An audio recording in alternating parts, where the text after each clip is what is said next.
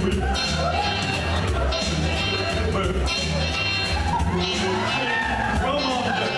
on,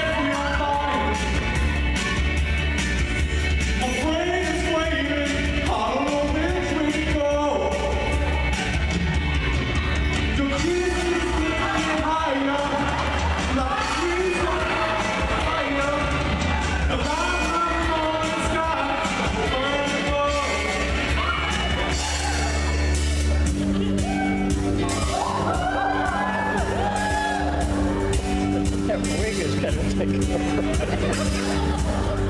over.